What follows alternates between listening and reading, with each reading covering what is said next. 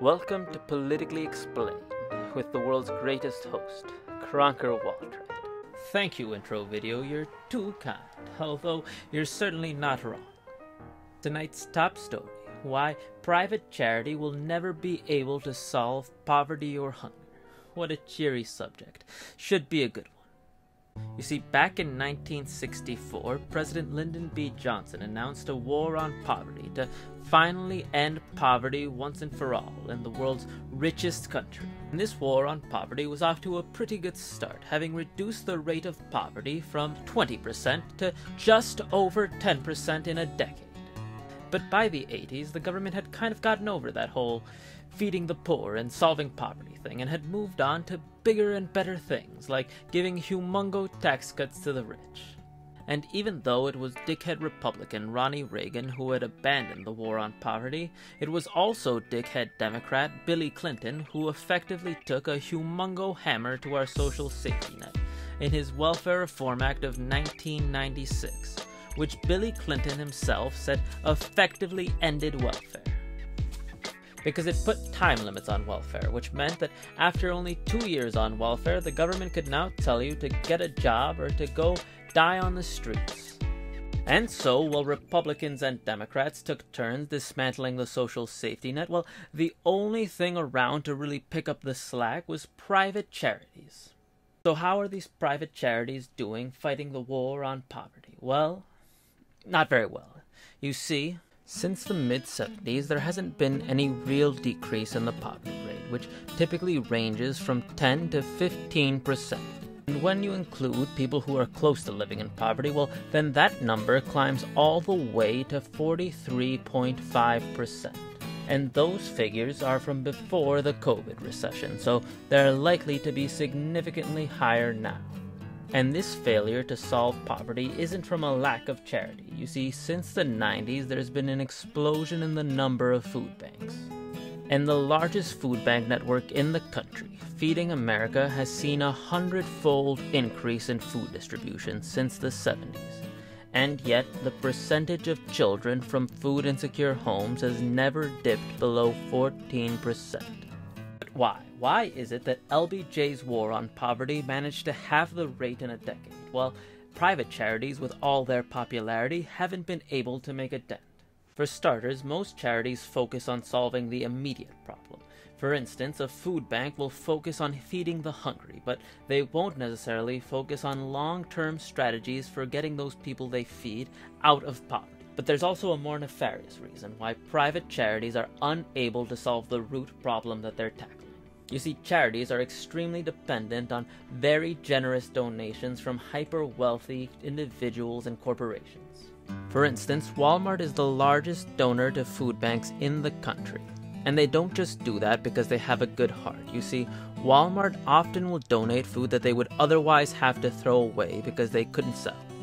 And in exchange, the government is happy to write them a nice tax write off, and they get free good publicity. So, in a way, these private charities are already part of our safety net since they get subsidized by the taxpayer via tax write offs. Except instead of those tax dollars going directly to trying to deal with hunger and poverty like they had under the war on poverty, we now have those tax dollars going to large companies like Walmart in the form of charitable tax deductions, simply for giving away food that they otherwise would have thrown away. And it's not just on the supply side that charities are dependent on corporations. You see, almost 22% of food bank board members work for a Fortune 1000 company, compared to only 0.08% that are affiliated with labor unions. And charities often spend millions on executive salaries while relying on thousands of unpaid volunteers or low income workers. So a lot of charities are dependent on big corporations for their supply side, and a lot of them have corporate leadership. So what? Well, it turns out that has a pretty serious impact on how they can tackle the issues that they're supposedly fighting. Because you might think that charities that fight hunger, for instance, would support ending starvation wages and raising the minimum wage.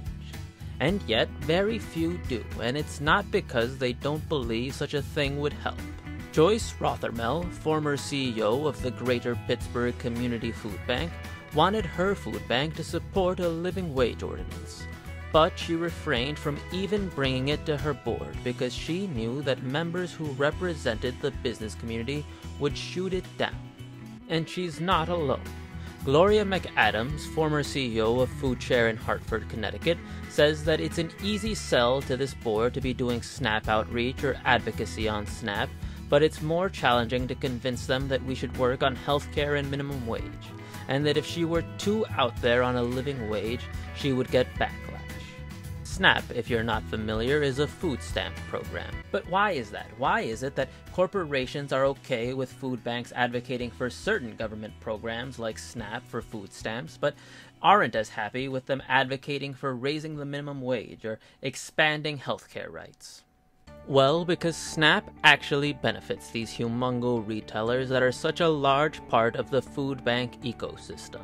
Walmart, for instance, which is now the biggest donor to food banks, gets about 4% of its total revenue from food stamps. And they're one of the four largest employers of food stamp recipients. So supporting SNAP actually makes Walmart money, both in direct revenue and in the savings of not having to pay their workers a living wage. Whereas raising the minimum wage would make them have to actually pay their workers a decent wage. So basically, food banks are allowed to advocate for government policies that would allow their large donors to profiteer off of, but not ones that would actually cost their large donors money.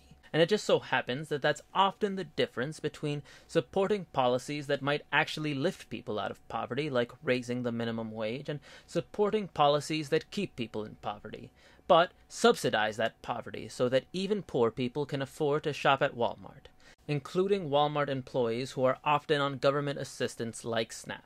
But I suppose that the real lesson to all of this is that private charity, while kind and noble, ultimately manages crises, but it can't resolve those crises on their own. And that, like so many things in our society, the wealthy use it to expand their own self interest and profiteer off of what's supposed to be selfless work advocating only for the parts of the safety net that benefit them and wanting to gut the rest. But perhaps the worst in all of this is that we actually do know how to fight poverty. We've done it before, but we gave up over a generation ago. The political establishment gave up on the dream of an America without hunger in order to give even more to those whose hunger knows no bounds and private charity has helped curb the losses in our social safety net. But it's time for us to stop holding the line and finish out what we set to do in 1964 and end poverty in this country once and for all.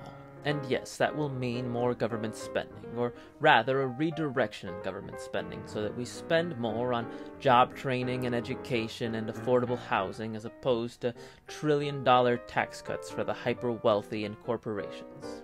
Alright, that's the end of the episode.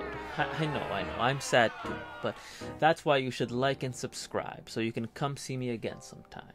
Next time we'll be talking about neoliberalism and why you hate your life. Turns out they're pretty related. Who knew? Alright, I hope you learned a bit about private charity and the war on poverty. Now, if you'll excuse me, I have to go take a poop.